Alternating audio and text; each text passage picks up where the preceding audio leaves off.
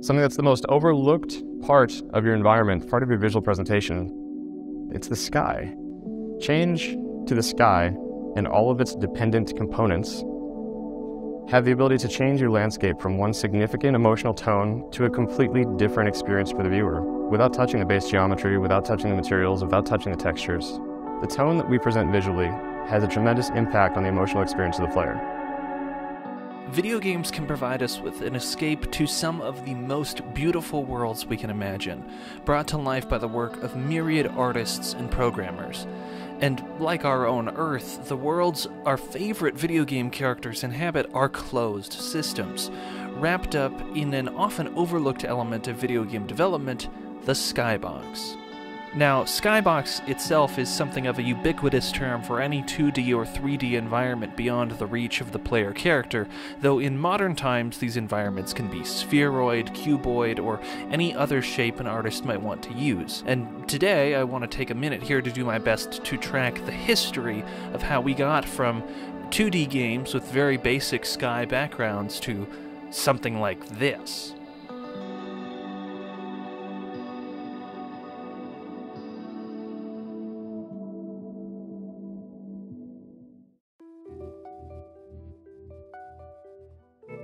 The funny thing is, I only noticed skyboxes after I became interested in skyboxes. I used to play fast paced games where I didn't have the time to look around at anything besides my target, so I never knew there was a thing called a skybox. I wonder if it's similar for most players, where they don't really notice the skybox. Unless it is striking, it is easy to miss, as it's just a background after all. But for some games, skyboxes make statements, and that's what I love to see when I play games these days. During video gaming's formative years, 2D game development dominated the market. I'm not tech savvy enough to know if that was purely because of hardware limitations or perhaps because many developers viewed video games as the philosophical successor to traditional board games, but whatever the reason, 2D reigned supreme. And the bulk of these 2D games were displayed with what are known as raster graphics. Now, a, a raster image is any type of digital image that uses rectangular pixels arranged in a grid to represent said image. Many of the games developed in this style would today be known colloquially as pixel art games. But as technology continued to advance, a few developers decided to try their hand at a new method of graphical display vector graphics. In contrast to raster graphics, vector graphics were generated not from individual pixels, but from geometric shapes. One of the earliest recorded examples of a game developed by this method is Jim Bowery's 1974 Space Sim, a first person multiplayer spaceflight simulator that ran on the PLATO computer system. In a sprawling retrospective on his time programming for the PLATO system in the mid 70s, Bowery describes the collaborative efforts between him and his contemporaries developing games for this system like a kind of programming gold rush, as with the release of each new game onto the system, it would only be weeks or even days in some cases before another, more exciting game was published for the PLATO system. But once Bowery had worked out his first 3D graphics engine, laying the foundation for Space Sim, it was a whole new ballgame. As one might imagine, it was a very exciting time. To see a dynamic mathematical space open up in full perspective visuals for the first time was an intoxicating experience. As most authors must experience when they're possessed of their muse, it felt like I was simultaneously creating and discovering a new universe but this was even more captivating and visceral. And this then was the first step toward the kind of 3D environments we're familiar with today. Now, in 1975, in Kearny Mesa, California, one year after the release of Space Sim, Dennis Party and Gary Garrison founded Cinematronics Incorporated, a soon to be leader in the development of vector based arcade games. Three years and several stints of complicated business history later, Party and Garrison's shares of Cinematronics had been bought out, and under the new leadership of Jim Pierce, Tom Stroud, and Larry Rosenthal, Cinematronics introduced their first first vector based arcade title to the market. Space Wars. Adapted from Steve Russell's 1962 space combat game Space War for the PDP 1, Cinematronics' spin on the title became the highest earning video game of 1978 and allowed Cinematronics to continue development of similar titles. Space War's success also prompted Larry Rosenthal to split off from Cinematronics to create his own company, Vector Beam, and with it his own vector based games like 1979's Speed Freak and Tail Gunner. Vector Beam never quite reached Cinematronics' level of financial success, though, and it was soon bought up by the very company from which Rosenthal had seceded. However, Cinematronics and Vector Beam's hardware successes had caught the attention of Atari, who tasked Cyan Engineering, their Grass Valley, California based subsidiary and developers of the Atari 2600, to get to work on a new vector based system Atari could use to make their own games. Atari called this new system Quadrascan, and in 1979 released their first two Quadrascan titles Lunar Lander and Asteroids. The smash hit success of the latter title prompted Atari to begin brainstorming new ways to use the Quadrascan system, and soon it was decided that with it, they'd try developing a 3D vector based game. The result was 1980's Battlezone. In Battlezone, we see Skybox development take another big step forward. On the horizon of this tank warfare battlefield, there are a handful of mountains and a moon, setting Battlezone in a specific place rather than a nondescript black void. In the same year, Atari would also release Red Baron, a 3D flight simulator that used the same Quadrascan technology as Battlezone, and like its predecessor, the world of Red Baron also featured mountains on the horizon.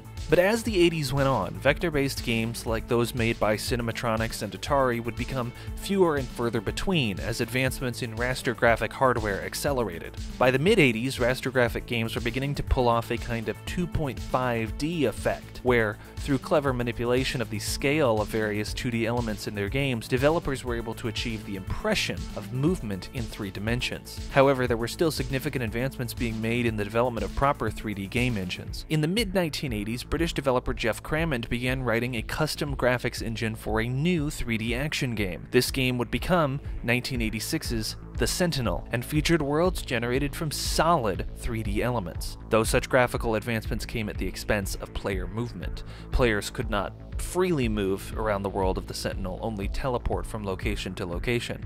Even so, the Sentinel was a monumental achievement and a huge step toward the kinds of 3D worlds we're familiar with today. But even as the Sentinel hit the market, elsewhere in the UK, brothers Ian and Chris Andrew were working in-house at Incentive Software on a 3D game engine more ambitious than anything that had been made before, and by 1987, they were ready to reveal it to the world.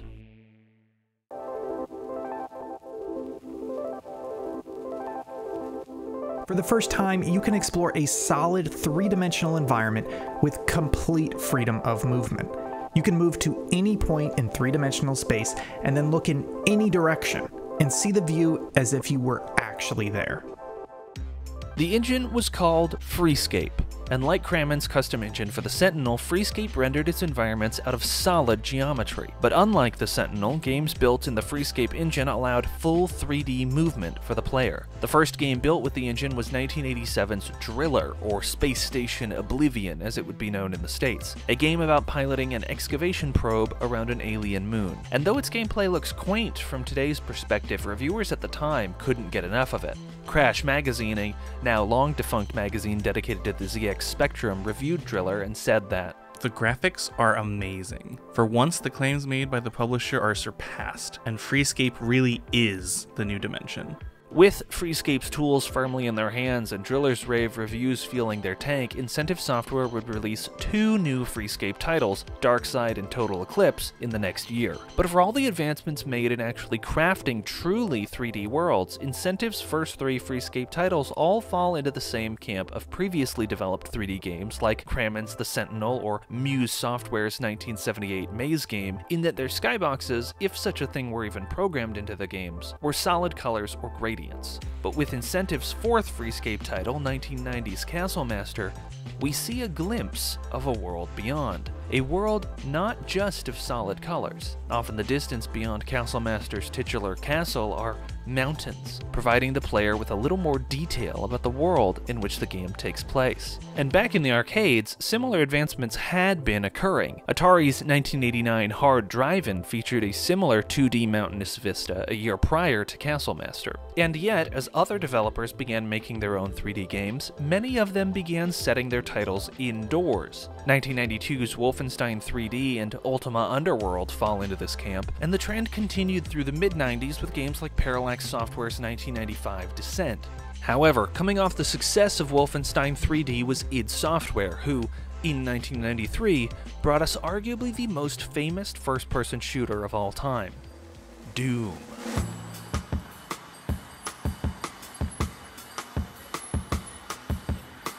It's here we first begin to see definition in the skybox. Not only is there more detail than in previous skyboxes, there is also depth. Much like Castle Masters Mountains, the Doom skyboxes gave players a better sense of the world in which the game took place. We begin to see skyboxes being used as an additional storytelling element. Uh, now, I spoke to several devs and skybox artists during my research for this video, including Respawn Entertainment senior skybox artist Han Hee Lee, who told me that the biggest role of a skybox is to establish the mood of the level. And in Doom, that is certainly the case. 1996 would bring id back into the spotlight with Quake, which featured one of the first animated skies. Though still not a sky box by any modern standard, Quake's animated sky textures were a quantum leap toward modern skyboxes.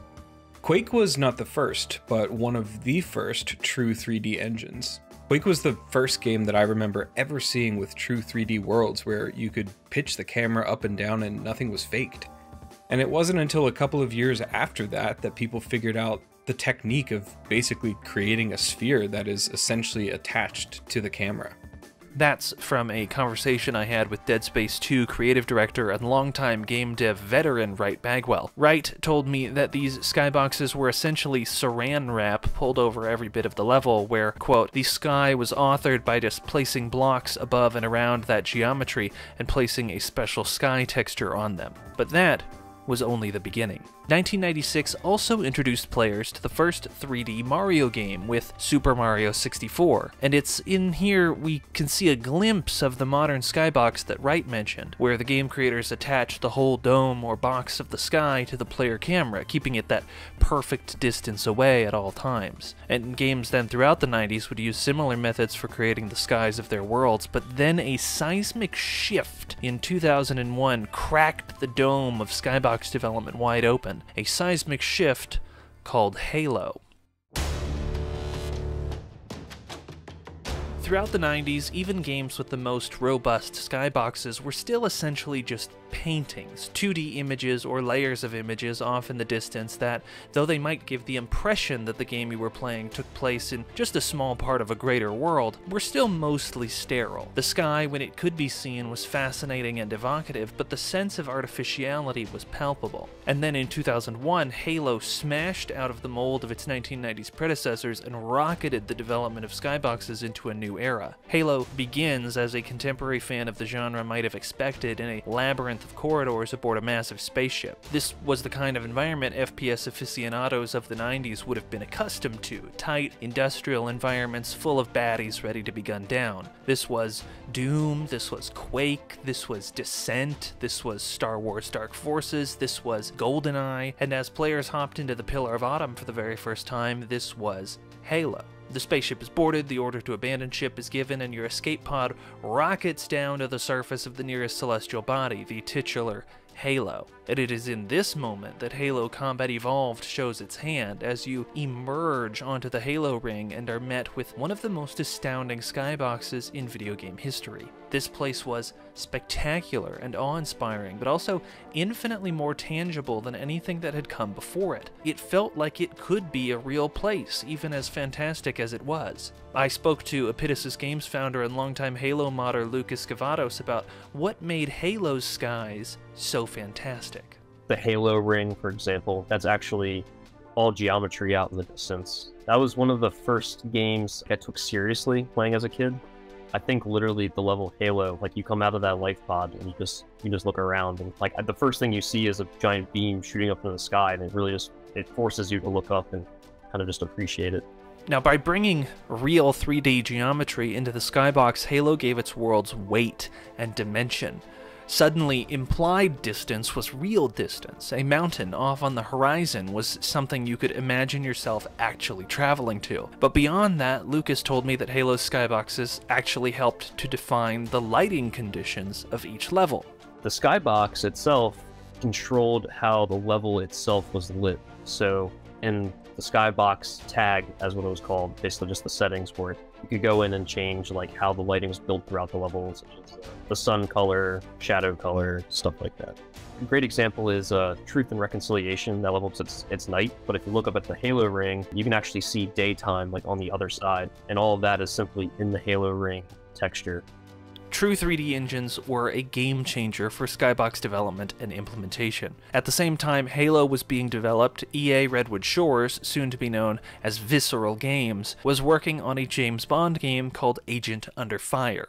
It was the first game that I had worked on where there was an actual 3D skybox. Once they moved to True 3D, the progression of the amount of detail in the skyboxes was less related to figuring out how to do it. One of the things I remember that we did that I thought was kind of fun on that game is that there was this one level that took place on an aircraft carrier, and I actually scripted the skybox to slowly kind of rotate like this, just sort of on a sine wave. And that gave you the impression that the boat was rocking because the skybox is attached to the camera, but wobbly, and just so slowly to make you believe that the ship was moving once again.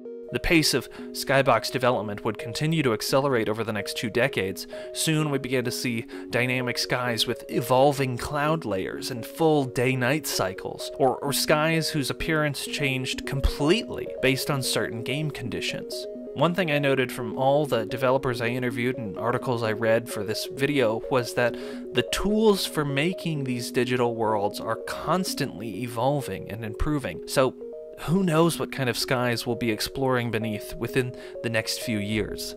I truly can't wait to find out.